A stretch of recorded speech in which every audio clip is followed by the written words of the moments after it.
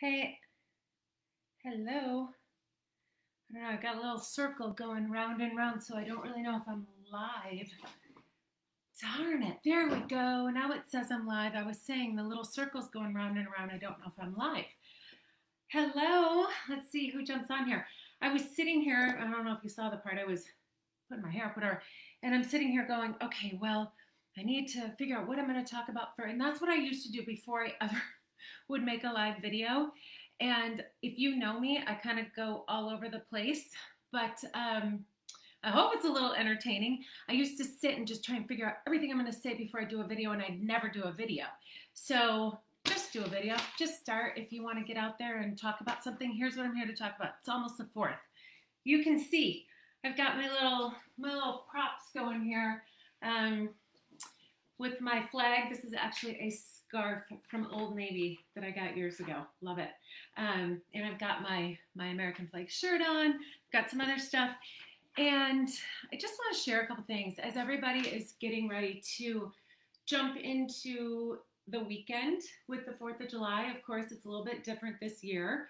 Um, than it was last year with everything that's going on. And that's not what this video is going to be about. I just I want everybody to love each other and be kind. And we know that, you know, we're all going to be okay. We're, we're going to get through all of this. Um, but it's the 4th of July. And I wanted to talk about, I do want to say, I want to talk about, you know, this is about our freedom. I'm going to read a quote here. And I just want to encourage everybody to just really remember what this weekend is about. I know a lot of people are going to be, you know, I live in a lake community um, in North Carolina, Lake Norman. And so I know a lot of people are going to be out on their boats and at parties and barbecues, and that's great. And, and you know, but we we often tend to forget about when it's the holidays, when it's Christmas or Easter. We tend to forget about like really what it's about. And more than ever right now, we need to you know come together. And if you know me or if you've seen any of my posts, I say love is the answer. Um, love is the answer to to everything, I like to say, because that's what Jesus tells us in the Bible. Um, and if I lost you at that, I love you. I can't hide my faith. I talk about it. Um, I want to read a quote here from Ronald Reagan, who I, I love Ronald Reagan. Um, freedom. He's talking about freedom. Freedom is never more than one generation away from extinction. We didn't pass it to our children in their bloodstream. It must be fought for, protected, and handed on for them to do the same. Or one day we will spend our sunset years telling our children and our children's children what it was once like to, what it was once, excuse me, what it was once like in the United States where men were free. So I love that. Ronald Reagan. You can go look it up, type in Ronald Reagan freedom. This will come up. Here's something else I want to share. If you're still with me here. I don't know. I can't see who's on here. I think I changed my settings. This is a book. I know that's going to be backwards to you, but this is a book called Roots and Wings. And I was gifted this by my sweet Sarah. I call her one of my very best friends in the world, Sarah Heflin. And this is a book, um, her father, Tom Heflin. This is Roots and Wings, The Art of Tom Heflin.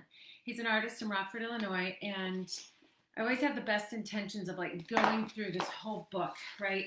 And reading all the different things. And I just, I do here and there, but something sparked me and I just thought, I just want to see what he's got in here about 4th of July or about, I don't know, I just started thumbing through it. Well, of course, when I do things like that, whether it's in the Bible or I pray about something or I go, okay, show me what this is supposed to be. So I come to this page. Um, if you're into art, if, if you're not, if you're watching this live now or later, um, and you want to know more about Tom Heflin, I'll put a link to him. His art is just so amazing. So I'm going to tell you about this, and here, here's why. Because this is something, this photo, and Tom, I'll tag you in this. Hopefully, I can afterwards. Um, this reminds me of freedom. Um, freedom and the country that we live in. I've got two pictures here that I want to share. Um, the first one, and I'm going to tell you about it, and it's called hold on here, hang with me. It's called Chores. And the other, for it's Harold's Hands. And then we've got Chores. And then we've got General Merchandise. This one here. Oh, this one here, right? Ah, it's backwards in the video right there, okay? And, you know, it's just like looking back when times were simpler. And if you, by the way, this is not going to be one of those two minute videos. I'm to keep talking. So if you want to listen, listen. If you don't, we're already at five minutes. Um, this photo here, Harold's hands, okay? I just love this. And I'm to read it. Because I think some people out there, if you're anything like me, you, you might appreciate this. He wrote about this. Every now and then, Emmert and Harold stopped by the farm to mend a fence, tend their garden, or work at other chores. If a job didn't require Harold's help, he sometimes came into the house and watched me paint. So he's talking about himself. Pulling up a chair, he'd sit in a corner and talk, although not necessarily to me. He'd just ramble on about things that happened maybe 30 or 40 years in the past. In the 20 years that I knew him, not once did he ask me a question or look me in the eye. Eventually, I grew accustomed to his presence and his continuous stream of talk. When he stopped rambling, he fell asleep, his chin resting on his chest. I never saw him without his hat. Oh, and I was going to put, I was saying I had props. I was going to put one of my props on, okay? Um, never saw him without his hat, and I never saw him dressed in anything other than his bib over coveralls. When Harold worked, I get to look at the picture, so I'm going to let you guys look at this. When Harold worked, he had to be supervised by Emmert, who insisted that he stop and rest from time to time. If left alone, he would continue working until he dropped. He had no interest in television or reading. His only diversion that I was ever aware of was his radio. I feel like when I was a teacher and I was reading books to my class, I kind of like it. So the only the only thing that uh, he was ever says the only diversion I was ever aware of was his radio. After supper with Emmert and Florence, he would retire to his room, close the door, and listen to his favorite program. By eight o'clock, he was asleep. On one occasion, and I love this. I mean, I turned to this page, okay, like just turn to it. On one occasion, he handed me a note that had been folded over and over until it was about two inches square. When I finished unfolding it, I read the heavy handed but very legible lettering. Don't forget to vote. Oh, this looks like it's slowing down. I hope it's okay. I hope we have a good connection. Brian, do we have a connection still? It's weird on my end. Okay, I'm going to keep going and not get distracted. Um, when I unfinished unfolding it, I read the heavy handed but very legible lettering Don't forget to vote November 25th. And then Tom's got in parentheses, evidently a message he had heard on his little radio. A more innocent, harmless, hardworking man was never born. That's what reminds me of the United States and freedom. And we're hardworking. And that's how I, you know, that's how I was raised. And looking at this, I just, I love this. It draws me in. That's what art does, right? Fortunately for Harold, death came quickly. There was no suffering. On July 18th, 1986, I was one of the pallbearers who helped carry him to his final resting place. It was my birthday. Emmert died five years later. The twin brothers are buried at the New Salem Church Cemetery, a couple of miles from Emmert's farm. Harold's Hands, 1986, acrylic on canvas, 11 by 14. It's a collection, Jim and Ray Beers.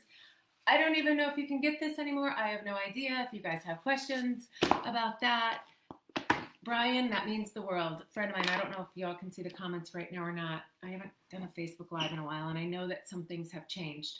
Um, he said, "You're the hardest worker I know." I, you know, and and that's going to lead me in to talking about when it doesn't feel like work. It's so um, fun isn't always the word. Fun.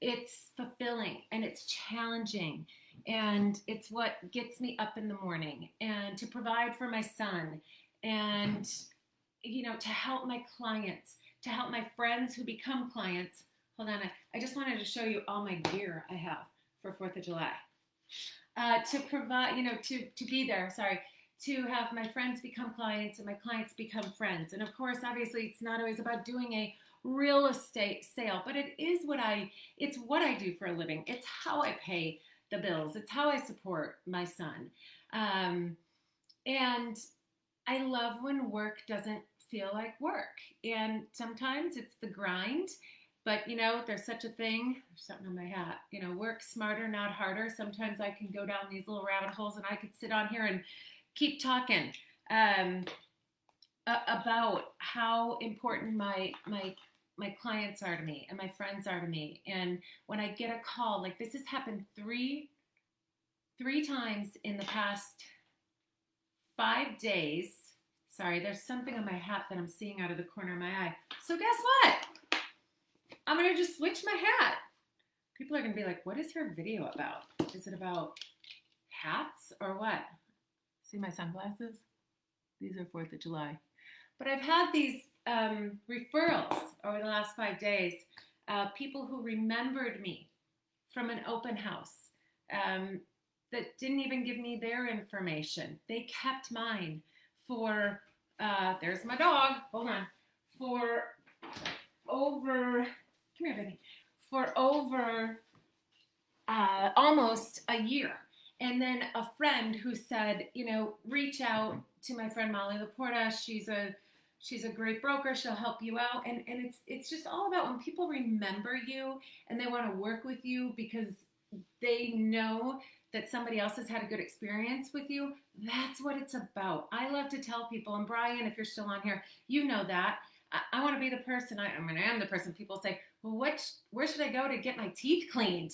Uh, Dr. Tampoya you know, where where should I go for an orthodontist? You know, Lineberger. I mean, I could do I could do that all day. I could just keep going on about different people, where you should go, you know, to get your your car fixed. Murray's Auto Works.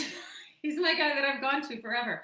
I love to be a connector. I haven't done a video like this for a while because I got away from doing these long, like they just keep going. And I know some, some people will say, hey, if you can't say it in two minutes, I'm not listening. That's fine that's fine. It's totally fine. Sometimes people will um, scroll through. I mean, the, the nice thing about these is after the live, you can fast forward it to go to the next part. Um, sometimes it's just a break for people to listen to something, and I'm here to just tell you. Um, I don't. I'm not ending the video yet, Brian. I have something to say about that. Um, I'm telling you, have a great weekend. Be safe. Remember what it's about. Um, we, we live in like the best place ever, the United States of America. Like I love my country. Um, it never used to be like where I'd be like, oh, you know, I'm not like the matchy matchy person, but hello, i have got my red, white, and blue, my shorts on, I've got my shirt, I've got my hat, I've got my flag in the background, I've got my sunglasses here. I don't know if you can see that, but it's the red, white, and blue. It's a flag.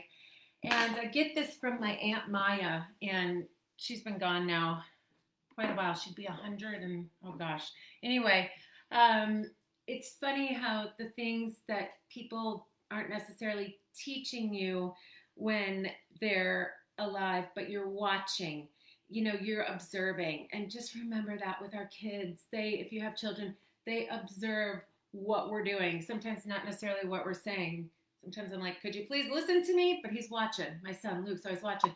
Hey, if you're looking to buy an exotic car or a classic car, Brian, I'm sorry, um, go see Brian Barr. And he's going to type in here. I hope you're still there. He's going to type in here where he's at. He's been at a new gig.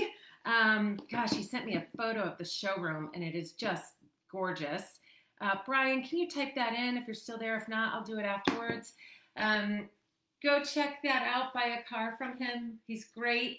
He um, he is so personable and honest and has such great character. Great to work with. I know Brian personally as a friend. We we actually sing together sometimes. Don't get scared. Um, I won't sing right now, but um, yeah, Brian and I have done some events together too with my cousin Miles Nielsen. We need to do that soon, Brian, when all of this is, we can all get together. But that is awesome. He just said, I've been in this new gig for two weeks and three referrals. And you know that is that is what it's about. So please, I mean, this I wasn't going to be on be on here going. Please remember what me when you go. But I will say it because if you know someone who's looking, whether it's you or a friend um, or family member, know somebody who's looking to buy or sell, please keep me in mind uh, if you feel comfortable referring me. A lot of times people know so many realtors that it's hard for them to refer because they don't want a friend to get upset. Um, keep in mind that, you know, so many, you probably know this, but so many personalities, personalities work with different people. some people want to work with a woman realtor. Some people want to work with a man realtor. Some people want to work with a married couple real, realtors, a team. Um, I am with the LePage Johnson team. It's um, I love this. I get to say the LePage Johnson team, uh, EXP Realty. I'm a division of the LePage Johnson team, LaPorta and Company. So I still have my branding. I'm still LaPorta and Company, but I am on their team. I absolutely love being on their team. We all work so well together. It's like a family, and we take care of our clients. It's beyond buying a house, it's beyond selling your house. It becomes a relationship and a friendship, and we are there throughout the whole process to help you with so many things. Um, you know, I always joke with my clients and say, when you move to town, or before that, actually, um, it's like I'll have them set up with who a whole list of where they can go for to get their dog groomed, right? I mean, they're impeccable paws. That's where I go in Catawba. Uh, so one thing that I want to put out here, well, I do, or I don't know whose attention I still have, is that a lot of people, so many people, do not realize two things. Well, more than that, but two we're going to talk about in real estate. One is that I can do business in any state. And you might be going, well, what do you mean? How, how can you do that? So um, let me give you an example. You have a friend, or you're watching this and you live in Scottsdale, Arizona, okay? You live in Lexington, Kentucky. You live where, wherever it is. Rockford, Illinois, my hometown. Yeah, yeah. Cheap Trick, Miles Nielsen. Um, and you're getting ready to, you want to buy a house or sell you can literally, if you don't already have somebody that would be expecting you to work with them or whatever, you can reach out to me and then I can refer you to someone because a lot of people don't even know people in their area. You might be moving to, you know, Jupiter, Florida, and you just don't even know who to reach out to. So you go on the internet and you go, okay, I'm going to look at their reviews, and there's nothing wrong with that. Um, but I connect you with somebody who is right for your personality. I connect you with people that, and I'm getting to the point where I pretty much, I don't want to say have somebody every single place. That would be impossible. It'd be tough. But I have the connections of people in so many different states. Also now the UK, and I've got a couple in Canada a big place, obviously, but I do have some people in Canada. And if I don't have somebody there, I will find that person. I will find that agent for you to work with. Um, I will connect you. You can have a conversation. If you're like, they're not for me, I'll be like, we'll move on to the next. But I pretty much can get a good feel after we've had a 15, 20 minute conversation on who you who would be good for you to work with. If not, you know, we move on and you might say, oh my gosh, this person is great. This is exactly who I wanted to work with. Now you go, well, how can I be involved in that? Me. Um, I still make money because I do a referral. Okay. So we get our commission and I do a percentage of that. And what I do and what works so well that most people don't think about is I am involved in that deal. Not to the point where I'm like checking up on that agent, like going, okay, are you doing what you're supposed to do? It's not that, but they know that I'm there checking in and just saying, hey, how's it, how's it going with, you know, Joe and Sue? How's everything going? Um, did, how was the open house? I heard you were having an open house. They do know that there's somebody there who is, call it accountability in a good way because – and I've got this going on right now with an agent who had an issue with something. Okay, she's in another state. Um, got refer I referred one of my clients to her, and it's like we collaborate about something she has going on. And I'm not there. I'm not doing the open houses. I'm not putting the sign in the ground. I'm not doing that. But I am part of the deal because I brought the client to her. So it gives you an extra uh, layer. I, I look at it. I would love that peace of mind. Uh, when I moved here, oh my gosh, I've been going for 20 minutes. Amy Campos, if and when you watch this, don't give me a hard time. I'm giving out a lot of good information. Um, you know, when I moved to North Carolina, when Luke and I, my son and I moved to North Carolina almost 10 years ago, I was not licensed here yet. And I was going online, typing in realtor, this, that, whatever, to just, and I wasn't even going to buy when I first got here, which I didn't. I rented. But first of all, to find somebody to even help me find a place to rent, because we don't make much. I'll, I'll, just tell you, it's like on, you know, you, I, I think maybe it's like a, a, a 10% here. I don't do a lot of rentals. I will do them. I do do them when I'm working with a client who's like, hey, I'm going to move there and I'll probably buy, and maybe they won't. I don't say no to people like that, or I'll refer it if it's just, it doesn't work for me at that time. But the thing is, in, you know, in other states, you can make up to as much as half the amount of the rent per month. So if I did a rental in Chicago and it was four grand, I would make $2,000 on that. Okay, you've got to put your time, see where your time and money, what they're worth. So here, you know, I realized that when I moved here and, and people weren't going to make any money on me renting a house. And listen, I barely got any calls back. I bet I called five, six, six different agents, um, explained my story on their voicemail, even called a couple back a few times just to see, wow, was that an eye opener? Because you know what? They didn't know that I was going to be an agent here. I didn't even know that I was going to get my license again once I moved here. I thought I probably would, but I ended up buying a house just a couple years later. And uh, they could have had the business. So I'm just telling you, I am that agent that will help your people, even if you say, well, I know these friends of mine, they're moving to Nashville and they're going to rent for the first six months or a year. People will say to me, they've said before, well, I didn't even think you'd want to mess around with it. Yes, I will. I'm their resource, okay? Because if I don't work now, for three months down the road, six months down the road, a year down the road, and time goes fast the older you get. I think it does. If I don't work like that now, I don't have money coming in. I take that back. I'm with a great company. Gosh, this was not going to go into this. But anyway, I'm with a great company called EXP. And I'll tell you something, I just sell the light in the biggest way, even though I've been with them now, I have to check, two, two, two and a half, two and a half years, I don't know.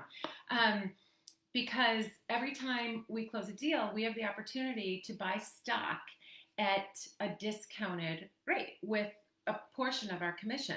So I just started saying, okay, I'd elect to do that, not paying attention. Know, it was a couple hundred here, 500 there, 600 there, 100, whatever. Um, oh my gosh. So our stock has gone from here to here. And my money, I looked at my account. In fact, Craig, I don't know if you spoke about that today in the meeting. Oh my goodness. I'm like, okay, this is this is amazing. Any realtor who's not at least taking a look at that and talking to me about it, I don't care if you say no, I'm not here to pressure you. Shelly and Craig, the team that I'm on, LePage Johnson, they talked to me off and on. They didn't bug me about it.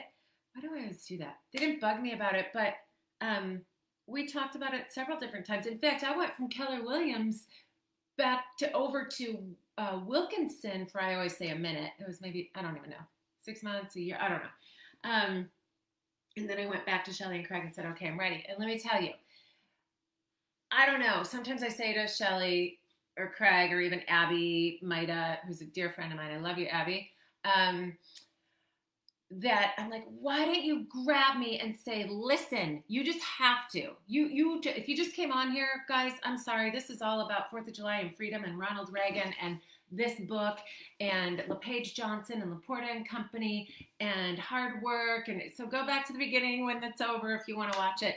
Um, I can just be your goofy little entertainment here. But what I'm saying is, you know, I've said to Shelly before, like, why don't you just grab me? Or Abby, why don't you just tell me you have to do it? You know why? Because that's not their personality. And even if they would have done that, I might have been like, whoa. I think that I would have been like, okay, I'll just slow down and take a look at it. I just go, go, go, go. I love to work. I love to do creative things. I love to get into my projects in the garage. I'm always doing something, always. And so to me, moving to a new real estate company, I'm going to tell you how silly, how silly, silly, silly in my mind. I was like, well, shoot, I'm going to have to get, I'm trying to show you guys something. I'm going to have to get new cards. Okay really? Is it that hard to do? This is my Molly LaPorta card. I am going to get these updated again now because even though I went to EXP, sure it's backwards, LaPorta and Company, now I am LePage Johnson, division, or LaPorta and Company, a division of LePage Johnson, EXP Realty, powered by, and all that stuff. Really, though, to get my cards redone, we have a client concierge at our office Kelly Cruz, who's amazing, and she could just do my cards. It's not a big deal. But I let the over things that felt like a burden and felt overwhelming, I just let them get in the way. I wish I would have made would have made the decision a long time ago. So I don't know, you know, this video is woo all over the board. It's kind of how I do things. I, I thought I had another prop I was going to show, but if you didn't see, all my stuff for 4th of July. I'm like into it, okay? Um, and I've got the glasses here with the American flag. And then I've got my little bandana that I'll wear probably to work out later. And then I've got my red, white, and blue shorts. God bless you. Happy almost 4th of July. Um, I'm going to read my quote one more time. I read it at the beginning. Um, I'm not going to put my glasses back on here. Ronald Reagan, okay? Freedom is never more than one generation away from extinction. We didn't pass it to our children in the bloodstream. It must be fought for, protected, and handed on for them to do the same. Or one day we will spend our sunset years telling our children and our children's children what it was once like in the United States where men were free. Ronald Reagan. Okay, people, and this book, I will post about it, The Art of Tom Heflin. Let me tell you, he is he he's amazing, okay? He's a painter. These are painted. These are these are not photographs. Like they're painted. He's absolutely incredible. I never realized like because I haven't taken the time to look through this whole book. I'm ashamed to say. Um, but there is some, and, and my sweet Sarah, oh, here it is. My sweet Sarah, who is one of my best friends in this entire world. Um, this is, that brings me tears when I say that. Sorry, guys. I just love her. This is uh, one that he did of, where are we? Right here, okay? And I've got numerous stuff of hers around, but it's uh, Contemplation, 1981. Um, Boy, let me think about that, Sarah. How old were we? You're just a few years older than me. How old were we in 1981? Um, well, I was in, in 1984. I was 13. Whoa, you were in some teenage years here. So it says um, this, this huge willow tree stands near a little creek behind our home on Weldon Road. I used my, it's right here, sorry. I used my 16 year old daughter, Sarah, for a model anyway, I can't say enough about his art, and and maybe I shouldn't be saying all this. I don't know what's available or what's not available, what you can, and this was not all about being like a plug for Tom Heflin. It, it wasn't. I just, if you're at the beginning of this video, you go back and start over. It was about me thumbing through to see if I could see something that made me think of Fourth of July. God bless everybody. Have a great weekend. Thank you for watching. If you did, I know it's long. Whoa, 30 minutes, 27 minutes. Uh, Brian, you never posted where to get the car, but I'll put it on here. Bye, everybody. God bless and love you.